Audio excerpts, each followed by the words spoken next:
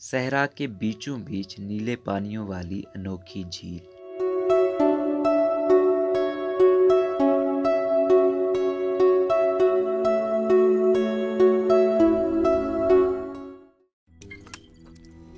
रोज़नामा कुदरत की वीडियो देखने के लिए अभी यूट्यूब चैनल पर सब्सक्राइब करें और बेल आइकन पर भी क्लिक करें।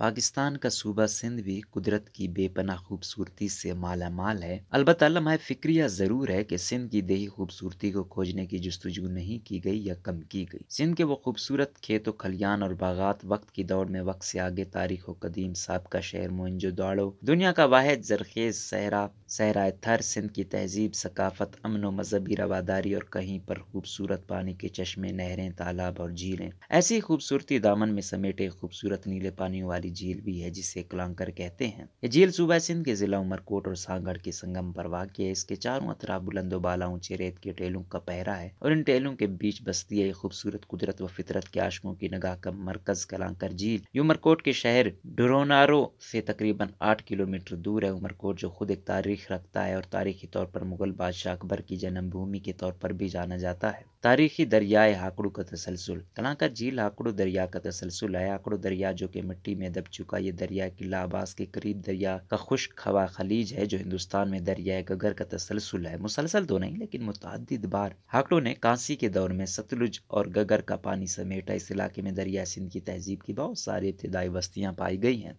हाकलो दरिया तो खुश्क हो चुका, लेकिन वो उन झीलों की सूरत में अपनी अक्स छोड़ गया, जो आज भी सिंध के इलाकों, खैरपुर, नवाब शाह, सांगड़ और थरपाकर में पाई जाती हैं। दरियाए गुगर, हाकड़ा के साथ साथ बहावलपुर ज़िले के बस्से जनूब की सिमत में बहुत सारे इब्तदाई आसार कदीमा मौजूद हैं, जिनका ताल्लुक वादी सिंध की तहजीब से है। ये गुमान किया जाता है कि सरस्वती नदी यहाँ बहुत सारी झीलों के तसलसल में ख़त्म हुई। कुछ माहरीन का ख्याल है, इसका पानी शदीद बारिशों के मौसमों में दरिया सिंध या समंदर तक पहुँच गया था। ताहम ऐसा लगता है कि सेटेलाइट तस्वीर इसके बरखिलाफ है। वो दरिया सिंध के मगरब और आकड़ा के अख्ताम में, दरिया सिंध में दरियाए सिंध के दरमियान टीलों में जखीरों, जेर ज़मीन पानी नहीं दिखाती। पाकिस्तान के मरूफ माहिर आसार कदीम मोहम्मद रफ़ीक मुगल ने लिखा है कि हाकड़ू दरिया उन्नीस सौ कबल मसीह तक खुश्क हो चुका था। अलबत् बाज़ माहरीन के मुताबिक ये दरिया इससे भी पहले खुश्क हो चुका था। हाकड़ों के खुश्क होने की बुनियादी वजह बारिशों का कम पड़ना बताई जाती है, जबकि जंगलों की कटाई भी इसके खुश्क होने में मुआविन साबित हो सकती है। कहा जाता है कि जनूबी इलाके में कलांगर इस तरह की बहुत सारी झीलें, आंकड़ों की यादगार हैं, जिसमें कलांकर समेत दीकर मुख्तलिफ़ झीलों का एक सिलसिला खैरपुर से शुरू होकर जिला उमरकोट के शहर चोर पर ख़त्म हो जाता है। चोर में पाकिस्तान की एक छावनी भी वाक़ जिसका शुमार पाकिस्तान की बड़ी और अहम तरीन छावनियों में होता है।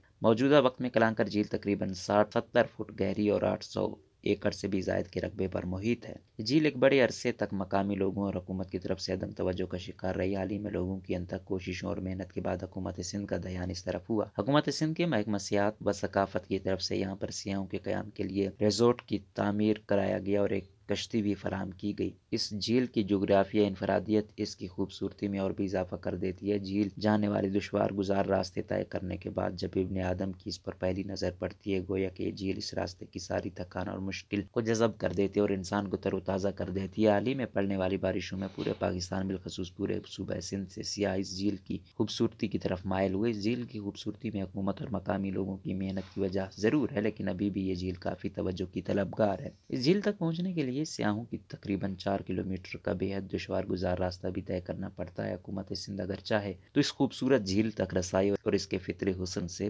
पुरलुत्फ होने के लिए आसान रास्ते की सहूलत फराहम कर सकती है।